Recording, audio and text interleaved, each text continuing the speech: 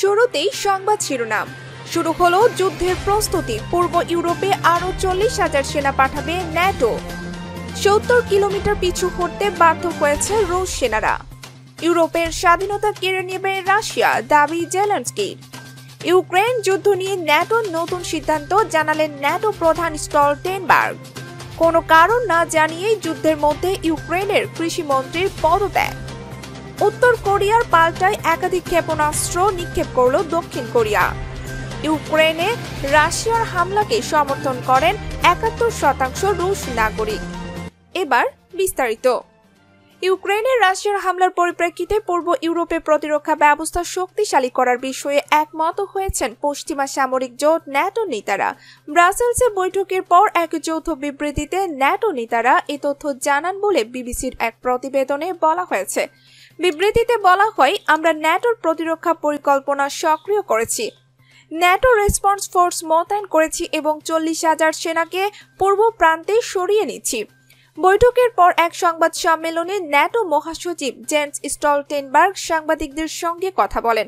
NATO মহাসচিব বলেন ইউক্রেনে রাশিয়ার আক্রমণ প্রজন্মের সবচেয়ে বড় নিরাপত্তা সংকট। আমরা আমাদের জোটকে শক্তিশালী রাখতে এবং আমাদের জনগণকে নিরাপদ রাখতে ঐক্যবদ্ধ আছি। জেন্স স্টলটেনবার্গ আরও বলেন, বৈঠকে সিদ্ধান্ত হয়েছে, স্লোভাকিয়া, হাঙ্গেরি, বুলগেরিয়া ও রোমানিয়াতে চারটি নতুন দল পাঠানো হবে। এছাড়া সাইবার প্রতিরক্ষা জোরদার করা হচ্ছে এবং ন্যাটো ইউক্রেনকে জৈবিক, রাসায়নিক রেজিওলজিক্যাল ও পারমাণবিক হুমকি থেকে রক্ষা করতে সহায়তা করবে। রাসায়নিক অস্ত্রের ব্যবহার সংঘাতের প্রকৃতি সম্পূর্ণভাবে পাল্টে দেবে। এটি আন্তর্জাতিক আইনের স্পষ্ট লঙ্ঘন হবে এবং এর পরিণতি হবে ব্যাপক, যোগ করেন স্টলটেনবার্গ। ইউক্রেনের রুশ প্রেসিডেন্ট ভ্লাদিমির পুতিনের আক্রমণ দীর্ঘমেয়াদে নিরাপত্তা পরিবেশকে বদলে দিয়েছে এবং ন্যাটো একটি দীর্ঘ যাত্রার জন্য প্রস্তুত বলে উল্লেখ করেন তিনি। ইউক্রেনের প্রতিরক্ষা মন্ত্রণালয়ের একজন মুখপাত্র জানিয়েছেন, ইউক্রেনের সেনাদের প্রতিরোধের মুখে রাজধানী কিয়েভের আশপাশের স্থানগুলো থেকে পিছু হটেছে রুশ সেনারা।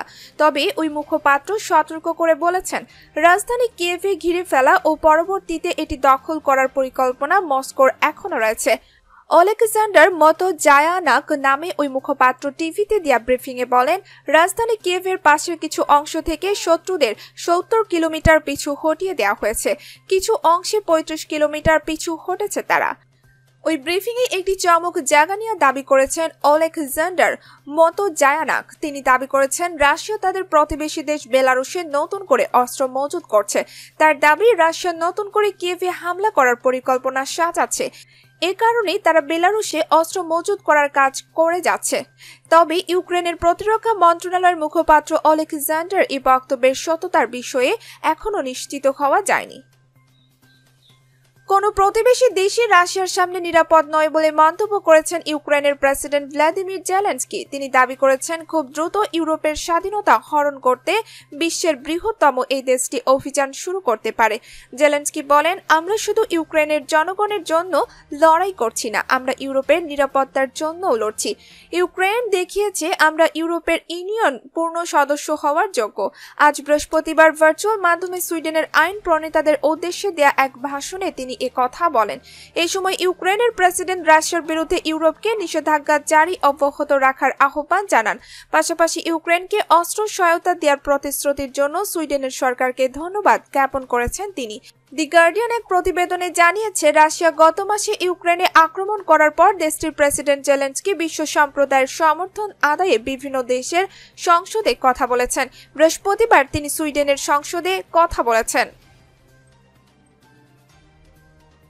উত্তর আটলান্টিক নিরাপত্তা জোটের মহাসচিব জেন্স স্টলটেনবার্গ বলেছেন, ইউক্রেন যুদ্ধের অংশ নয় ন্যাটো।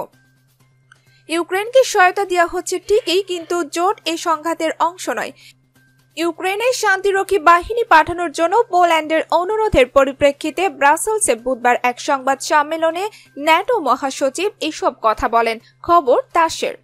স্টলটেনবার্গ বলেন, ইউক্রেনের সেনা পাঠাবে না ন্যাটো, কিন্তু দেশটিকে সহায়তা করা অত্যন্ত জরুরি। তবে রাশিয়া ও ন্যাটোর মধ্যে যেন পূর্ণ মাত্রায় যুদ্ধ লেগে না যায়, তা নিশ্চিত করাও জরুরি। এই সময় ন্যাটো মহাসচিব নো ফ্লাই জোন বাস্তবায়নে ইউক্রেনের অনুরোধ প্রত্যাখ্যানের বিষয়ে কথা বলেন। তিনি বলেন নো ফ্লাই জোন বাস্তবায়নে মানে রাশিয়া ও ন্যাটোর মধ্যে পূর্ণ মাত্রায় যুদ্ধ শুরু হয়ে যাওয়া। ইউক্রেনের রাশিয়া হামলা চালানোর কারণগুলোর মধ্যে দেশটির ন্যাটো সদস্য হতে চাওয়াটাও অন্যতম বলে মনে করা হয়। যদিও এই দাবি পরিত্যাগের বিষয়ে আলোচনার আভাস দিয়ে রেখেছেন ইউক্রেনের প্রেসিডেন্ট ভ্লাদিমির পুতিন। যদিও এই দাবি পরিত্যাগের বিষয়ে আলোচনার আভাস দিয়ে রেখেছেন ইউক্রেনের প্রেসিডেন্ট ভ্লাদিমির জেলেন্সকি। চব্বিশ ফেব্রুয়ারি ইউক্রেনের দনবাস অঞ্চলে সামরিক অভিযানের নির্দেশ দেন রাশিয়ার প্রেসিডেন্ট ভ্লাদিমির পুতিন। এরপর থেকে ইউক্রেনে হামলা চালাচ্ছে রুশ সেনারা।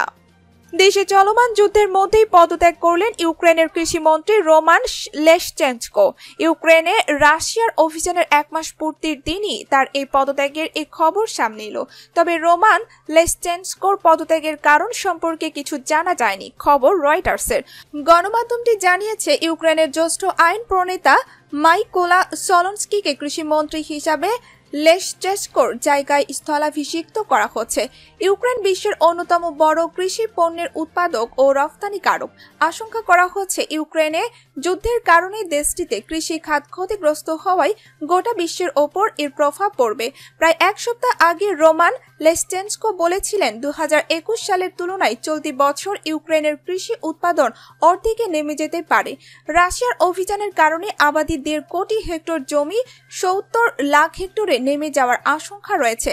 এদিকে রাশিয়ার আক্রমণ প্রতিরোধ করতে ইউক্রেনের প্রেসিডেন্ট ভ্লাদিমির জেলেন্সকি প্রতিনিয়ত যুক্তরাষ্ট্র সহ মিত্র দেশগুলোর কাছে যুদ্ধ বিমান সহায়তার আহ্বান জানাচ্ছে। আজ বৃহস্পতিবার ফের জেলেন্সকি যুক্তরাষ্ট্রের কাছে যুদ্ধ বিমান সহায়তা চান। কিন্তু যুক্তরাষ্ট্র এখনও ইউক্রেনকে যুদ্ধ বিমান দিতে রাজি নয় বলে খবর প্রকাশ করেছে সিএনএন। পাঁচ বছর পর পর আবারও আন্তঃমহাদেশীয় ব্যালিস্টিক ক্ষেপণাস্ত্রের পরীক্ষা চালিয়েছে উত্তর কোরিয়া বলে এক প্রতিবেদনে জানিয়েছে বিবিসি। আজ বৃহস্পতিবার সকালের দিকে উত্তর কোরিয়ার আইসিবিএম পরীক্ষার পর পরই জবাবে ক্ষেপণাস্ত্র নিক্ষেপ করেছে দক্ষিণ কোরিয়ার সামরিক বাহিনী। এক প্রতিবেদনে এ খবর জানিয়েছে স্কাই নিউজ। এক বিবৃতিতে এ তথ্য নিশ্চিত করেছেন সিউলের জয়েন্ট চিফ অফ স্টাফ। জানানো হয়েছে, উত্তর কোরিয়ার আইসিবিএম উৎক্ষেপণের জবাবে স্থল সমুদ্র এবং আকাশ থেকে একাধিক ক্ষেপণাস্ত্রের নিক্ষেপ করেছে দক্ষিণ কোরিয়া। স্থানীয় সময় বিকেল চারটা পঁচিশ মিনিটে পূর্ব জাপান সাগরে পরপর কয়েকটি ক্ষেপণাস্ত্র নিক্ষেপ করে সিউল।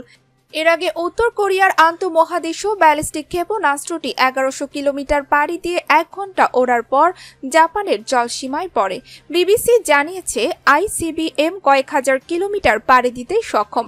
এমনকি এটি উত্তর কোরিয়া থেকে যুক্তরাষ্ট্রেও আঘাত হানতে পারে। উল্লেখ্য, সাম্প্রতিক সপ্তাহগুলোতে কয়েকটি ক্ষেপণাস্ত্র পরীক্ষা চালিয়েছে উত্তর কোরিয়া। এমন দাবি করেছে যুক্তরাষ্ট্র ও দক্ষিণ কোরিয়া। তবে এ দাবি অস্বীকার করেছে কিম জং উনের দেশ। পিয়ং ইয়ং জানিয়েছে তারা স্যাটেলাইট উড্ডয়ন করেছে। তবে এটি আইসিবিএম সিস্টেম পরীক্ষার অংশ, সূত্র বিবিসি ও স্কাই নিউজ। ইউক্রেনের সংঘাত চলছে। গত চব্বিশ ফেব্রুয়ারি দেশটি হামলা চালায় রাশিয়া। তারপর থেকে যুদ্ধ থামার কোনো লক্ষণই দেখা যাচ্ছে না। এদিকে পশ্চিমা দেশগুলো এই হামলার ঘটনায় বেশ ক্ষুব্ধ। এছাড়া বিশ্বের অনেক দেশই এই হামলার বিপক্ষে অবস্থান নিয়েছে। তবে রাশিয়ার সরকারি জরিপ এবং স্বাধীন সমাজ বিজ্ঞানীরা বলছেন, অধিকাংশ রুশ নাগরিক ইউক্রেনের চলমান আগ্রাসনকে সমর্থন করেন। গত পাঁচই March Russian public opinion research centre পরিচালিত একটি জরিপের তথ্যে জানানো হয় যে ইউক্রেনে রাশিয়ার বিশেষ সেনা অভিযান সমর্থন করেন একাত্তর শতাংশ রুশ নাগরিক, আর এই আগ্রাসন সমর্থন করেন না একুশ শতাংশ মানুষ এবং এই সম্পর্কে জানেন না আট শতাংশ মানুষ। যাদের উপর জরিপ চালানো হয়েছে, তাদের সত্তর শতাংশ মনে করেন রুশ সেনাবাহিনীর অভিযান পরিকল্পনা মাফিক চলছে। একই ধরনের চিত্র উঠে এসেছে দি পাবলিক অপিনিয়ন ফান্ড এর জরিপে। সংস্থাটি মূলত প্রেসিডেন্সিয়াল প্রশাসনের পক্ষ হয়ে জরিপ পরিচালনা করে থাকে। ওই সংস্থার জরিপে উঠে এসেছে যে পঁয়ষট্টি শতাংশ রুশ নাগরিক ইউক্রেনে চলমান সেনা অভিযানকে সমর্থন করেন। সতেরো শতাংশ করেন না এবং আঠারো শতাংশ অভিযান সম্পর্কে জানেন না। রাশিয়ার সরকার বিরোধী কর্মী অ্যালেক্সি মিন ইয়া ইলোর স্বাধীন জরিপেও উঠে এসেছে যে সিংহবাগ রুশ নাগরিকই যুদ্ধের পক্ষে। জরিপটির শিরোনাম ছিল, রুশরা কি যুদ্ধ চায়? প্রিয় দর্শক, ভিডিওটি ভালো লাগলে লাইক, কমেন্ট এবং শেয়ার করতে ভুলবেন না। প্রতিদিন আপডেট খবর পেতে আমাদের সাথেই থাকুন। ধন্যবাদ।